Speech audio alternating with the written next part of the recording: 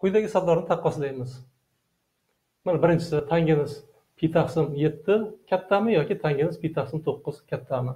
Buning uchun biz tangens x funksiyaning quyidagi xossasidan foydalanamiz. Tangens x minus pi taqsim ikki pi taqsim ikki oralig'ida o'suvchi. Uni grafikidan ham ko'rishimiz mumkin.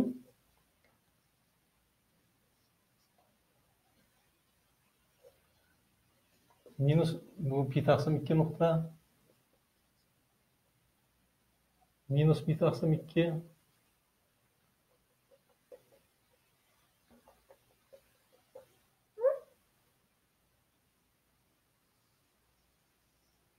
funksiyani grafigi y o'qi x o'qi nol nuqta tangens x mana bu oraliqda o'suvchi bo'ladi minus pi taqsim ikki pi taqsim ikki oraliqda o'suvchi bu degani bu oraliqdan olingan ixtiyoriy x bir x ikki sonlari uchun x bir x ikki x bir x ikkida har ikkalasi musbat bo'lishi mumkin har ikkalasi manfiy bo'lishi mumkin yoki bittasi manfiy bittasi musbat bo'lishi mumkin. Muhimi shu oraliqdan olingan x bir x ikkilar mana bu oraliqqa tegishli. Bu oraliqdan olingan ixtiyoriy x bir x ikki sonlari uchun mana bu tengsizlik bajarilsa u holda tangens x1 kichik tangens x2 tengsizlik o'rinli bo'ladi. Ya'ni mana bu tengsizlikdan bu tengsizlik kelib chiqadi. Biz shundan foydalanib biz misollarni yechamiz. Mana birinchi misolda. Mana x birni o'rnida pi taqsim yetti kelyapti. X bir x birni x ikkini o'rnida bu pi taqsim yetti kelyapti ekan. Mana bu x birni o'rnida. Chunki ular orasida quyidagi tengsizlik o'rinli. Pi taqsim birinchi misolni yechimi pi taqsim to'qqiz kichik pi taqsim yettidan. Demak bu sonlar pi taqsim ikkidan kichik mana bu oraliqqa tegishli. Albatta buni tekshirishimiz kerak. Va minus pi taqsim ikkidan katta chunki bular musbat son. Minus pi taqsim ikki.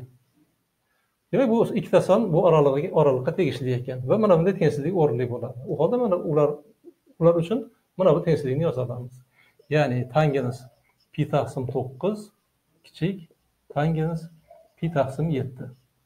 Mana bu tengsizlik o'rinli bo'ladi. Demak mana bu yerda quyidagi tengsizlik o'rinli ekan.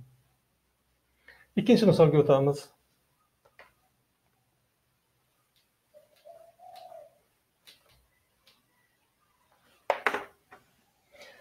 Tangens ikki va tangens uch.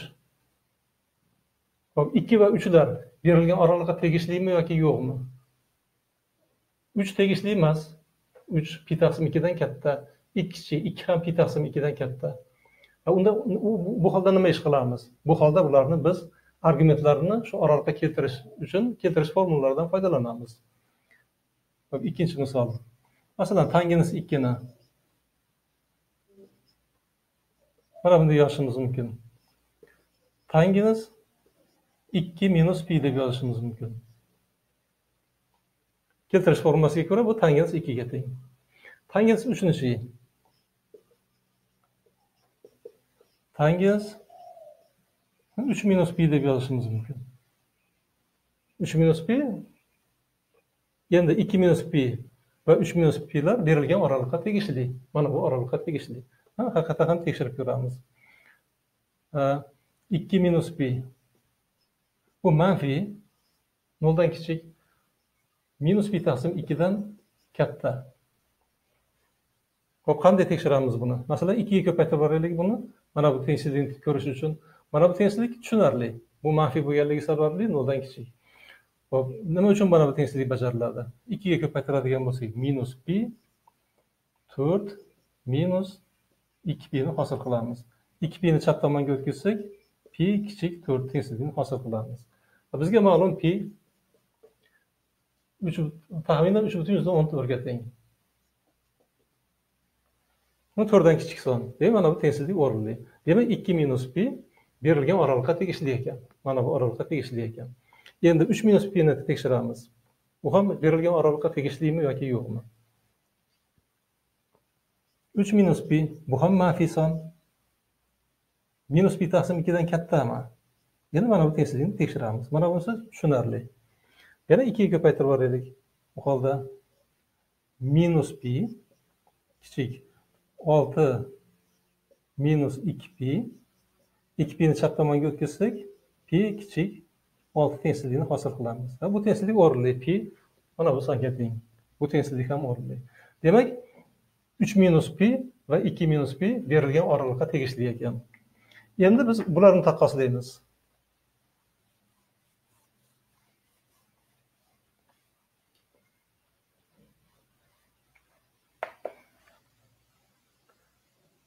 Ikki minus pi uch minus pidan kichik. Mana bu tengsizlik bajariladi. Demak bular minus pi taqsim ikki pi taqsim ikki oralig'iga tegishli ekan. Va mana bu tengsizlik bajariladi bular to'g'risida. Bu yerdan biz tangensining o'suvchi ekanligidan ikki minus pi kichik tangens uch minus pi ekanini hosil qilamiz. Tangens ikki minus pi tangens ikkiga teng. Bu tangens uchga teng demak ular orasida mana bu tengsizlik ekan va shunday qilib mana bu yerda quyidagi tengsizlik ekan uchinchi misolga o'tamiz uchinchi misol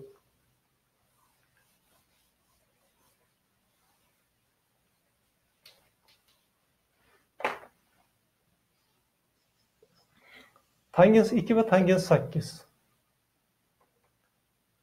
ikki berilgan oraliqqa tegishli emas shuning uchun biz yuqoridagidek mana bu misolda misolda yozganimizdek tangens ikkini tangens ikki minus pi deb yoza olamiz endi ikki minus pi berilgan oraliqqa tegishli hop tangens sakkiznachi tangens sakkizni biz tangens sakkiz minus uch pi deb yoza olamiz keltirish formulasiga ko'ra bu tangens sakkizga teng. Endi sakkiz minus pi bu oraliqqa tegishlimi Buni tekshiramiz. 8 minus 8 minus 3b. 3b 9 dan katta son. E bu songa teng 9 dan katta demak, bu son manfiy son. Minus b taqsim 2 dan kattami? Mana buni tekshiramiz. Buning uchun 2 ga ko'paytirib yuboraylik. Minus b 2 ga ko'paytirsak bu yerda 16 minus 6 pi.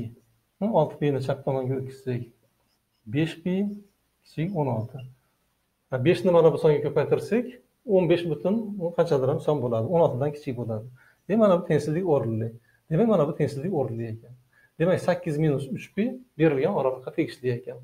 Shunday qilib ikki minus pi bu oraliqqa tegishli sakkiz minus uch pi shu oraliqqa tegishli. Ana endi biz bularni taqqoslasak bo'ladi. Bu oraliqda tangens tangens uchun quyidagi tengsizliklar bu tengsizlikdan quyidagi tengsizlik kelib chiqadi. Endi e, ikki minus pi bilan sakkiz minus uch pini taqqoslaymiz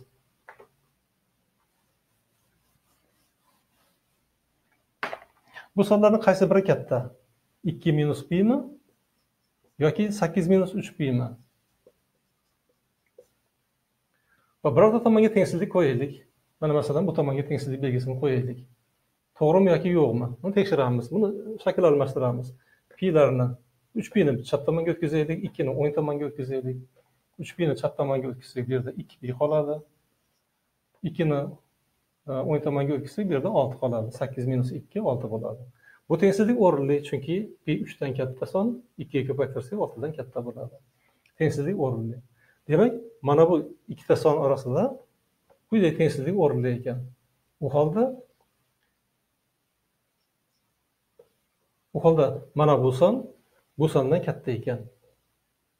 Bular orasida. Demak tangens ikki tangens sakkizdan katta ekan. Bu yerda mana bunday tengsizlik bajarilar ekan. Navbatdagi misolga o'tamiz. To'rtinchi misol.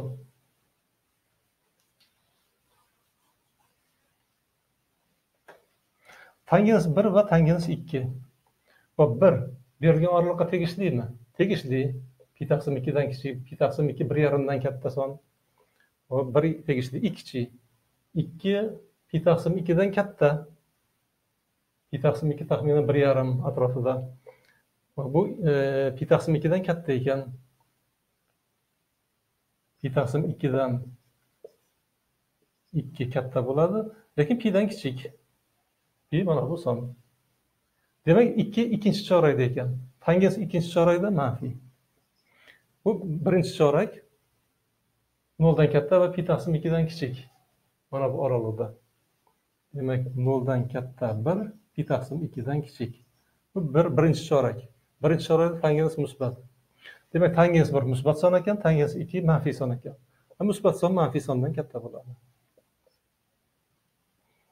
Navbatdagi misol minus pi taqsim besh va e, tangens minus pi taqsim besh va tangens minus pi taqsim o'n bir. Bu sonlarni taqqoslaymiz beshinchi misol. Minus pi taqsim besh. Berilgan orolga tegishlimi ha tegishli minus pi taqsim o'n bir. Tegishli ikkalasi ham shu oraliqqa tegishli ekan.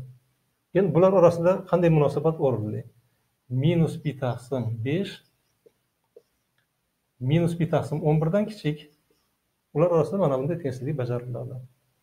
U holda agar bu tengsizlik bajarilsa tangenslar orasida ham xuddi shunday tengsizlik o'rinli bo'ladi. Demak bu yerda mana bunday tengsizlik bajarilar ekan. Shunday qilib tangens minus pi taqsim besh mana bu sondan kichik ekan.